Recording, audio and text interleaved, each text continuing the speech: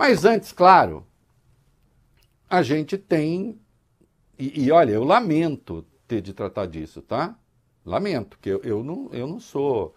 Embora eu adore direito penal, porque eu acho, eu, eu acho o saber interessante, mas é claro que eu fico triste quando eu vejo meu país envolvido nesses assuntos. A gente precisa recuperar a dignidade do homem público, há um declínio do homem público, está até um livro já meio antigo a respeito. Gente precisa recuperar a dignidade do homem público. Tá? Olha aqui, é, no fim de semana veio a público uma matéria do UOL, em síntese, né? tem lá a história de uma empresa chamada Cedo do Líbano, que tem como sua principal cliente a Codevasf. E essa sede do Líbano repassou. É, pode falar, ah, até pouco dinheiro, Reinaldo, coisa de 25 mil. Repassou para um dos assistentes do Mauro Cid, que trabalhava na ajudança de ordens, um segundo sargento. Por que é que vai dinheiro do ajudante de ordens é, da, da, da, de uma empresa que negocia com uma estatal para o ajudante de ordens. Né? E depois a gente descobre, chamado Luiz Marcos, a gente descobre que esse Luiz Marcos, é, o dinheiro foi depositado na conta dele pelo Vanderlei Cardoso, pai de uma das donas da sede do Líbano. E depois é, ele saca esse dinheiro, é, ele saca a grana em dinheiro vivo, e faz três depósitos, sabe na conta de quem? Da Rosimari Cardoso Cordeiro. Quem é Rosimari Cardoso Cordeiro? É aquela que tem um cartão de crédito, tá em seu nome, mas quem usa? A Michele Bolsonaro. Então sai da empresa que negocia com uma estatal, vai para o segundo sargento, segundo sargento saca e deposita na conta da Rosimari. Amiga da Michele, que tem um cartão de crédito que é usado pela Michele. Hein?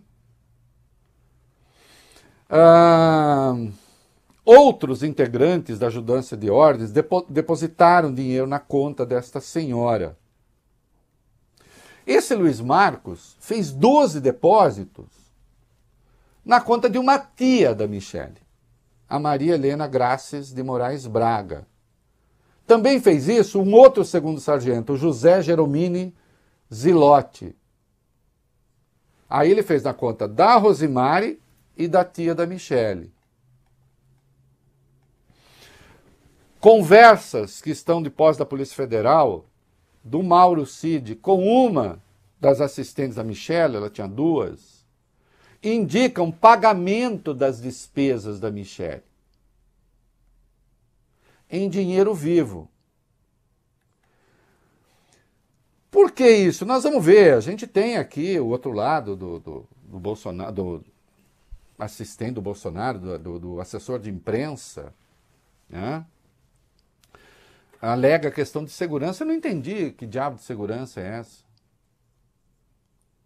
O fato é, por que é que subordinados do Mauro Cid depositavam dinheiro na conta da tia da Michele na conta daquela senhora que tem um cartão em nome da Michele. Isso é muito sério. Isso não dá para fazer de conta que não está acontecendo, porque é preciso saber a origem desse dinheiro. Lembrando que para as despesas pessoais já existe o cartão corporativo. Para as despesas, digamos assim, de sobrevivência. Presidente, primeira-dama podem usar esse cartão. Por que, que precisa fazer esse tipo de coisa? E aí apareceram outros problemas. Outros problemas. Nós já vamos direto para dois aí. Ah? Uhum. Qual foi o outro problema? Oh, vai bem, vai lá. Um deles é que a Polícia Federal encontrou em trocas de mensagens por WhatsApp imagens de sete comprovantes de depósitos em dinheiro vivo feitos pelo ex-ajudante de ordens Mauro Cid na conta de Michele Bolsonaro. Esses comprovantes é que foram divulgados numa reportagem do UOL, foram enviados por WhatsApp a assessoras da ex-primeira-dama. Também foi encontrada uma transferência bancária de 5 mil reais, realizada em julho de 2021, feita também diretamente da conta de Mauro Cid para a conta de Michele Bolsonaro. Gente, data vênia, né? da conta do ajudante de ordem, da conta dele para a conta da Michele? É sério. Há suspeita de que seja dinheiro público. Aliás, na, no, na petição enviada pela Polícia Federal ao Supremo, Está escrito lá: é possível identificar indícios do uso de suprimento de maneira ilegal, com saques em espécie dos recursos depósitos em espécie de maneira fracionada, fato que dificulta a identificação dos responsáveis pela transferência. Dinheiro é esse? Se é dinheiro público mesmo, por que, que precisa passar pela conta do ajudante de ordens, a conta pessoal dele? É... Tem mais coisa aí? Hum? É... Aqui, ó, quer ver? Eu vou, vou dar uma pulada aqui que eu quero ganhar tempo. Vamos para 2B, porque há, há indícios também de conta no exterior. Vai lá.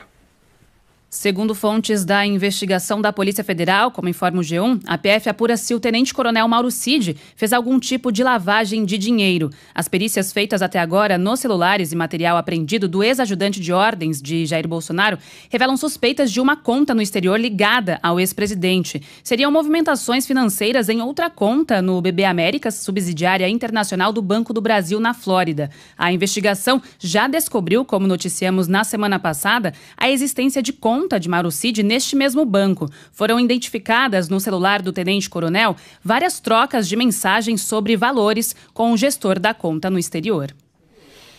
É, gente. E aí tem uma outra coisa. A Michelle tem um sobrinho, Yuri Daniel Ferreira Lima, e tem uma conversa que mandam um boleto do plano de saúde dele para o Mauro Cid pagar. Aí o Mauro Cid fica bravo. Você não, não me manda boleto, pô. Como é que eu vou pagar boleto? Em última instância, ele está dizendo, isso deixa rastro. Compreenderam? Aí então se negocia o seguinte: e pegar o dinheiro para pagar em dinheiro vivo. Aí ele fala, aí tudo bem. Parece normal isso? Acho que não, né? É por isso que o entorno do Mauro Cid está preocupadíssimo com uma eventual delação premiada do Mauro Cid. Ele está com um advogado que é especialista em delação premiada, o Bernardo Fenelon, e aí é um monitoramento. Porque nós podemos chamar essa movimentação de qualquer coisa, menos de ortodoxa. Por alguma razão, a PGR, a doutora Lindora Araújo, vice-procuradora-geral, quer que os áudios do Mauro Cid e essa coisa toda não sejam incluídos na investigação. Eu tentei achar razão, não consegui. Eu não posso crer que a doutora Lindora esteja dizendo o seguinte: vamos descartar da investigação tudo aquilo que possa parecer prova de irregularidade. É, no mínimo, estranho. Não é?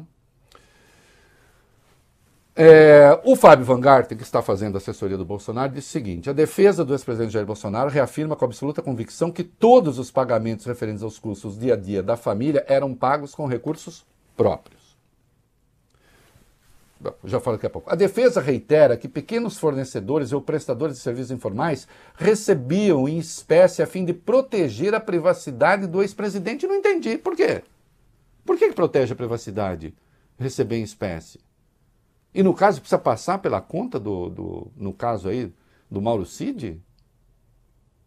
E aí do ordenança e direto para conta. Não, é, isso, desculpa, fica parecendo coisa do, do, do Queiroz, né? Que aquela vez depositou cheques na conta da Michele.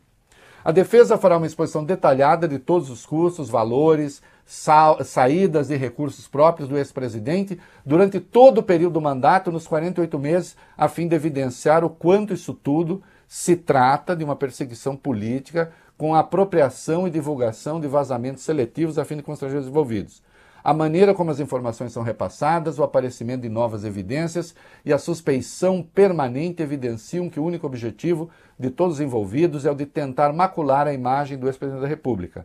Na falta de fatos concretos, como a devolução de bilhões de reais, como ocorreu na Petrobras, tenta-se criar um escândalo com despesas corriqueiras. A verdade prevalecerá. Bom, que a verdade prevaleça. Agora, esse negócio aqui é uma sugestão. Ah, houve escândalos em outros governos. O fato de ter havido escândalos em outros governos não autoriza que haja escândalos agora. Tudo isso é explicável? É explicável, inclusive, a Rosimeire, a Rosemary, amiga da Michelle, ter um cartão para gastos da Michelle? Isso é explicável? E receber dinheiro da ajudância de ordens? Dinheiro em espécie? É explicável o tal do segundo sargento receber dinheiro de uma empresa que tem negócio com uma estatal, depois repassar parte para a Rosimeire, aquela do cartão? Se é dinheiro de Bolsonaro, por que, que não vai, não paga e acabou? Se é despesa normal, por que, que não vai no cartão corporativo? Segundo ele, tudo isso tem explicação. Tendo a explicação, ótimo, ficamos todos satisfeitos. Hum? Agora, que são heterodoxias, quando menos, são. Não é mesmo?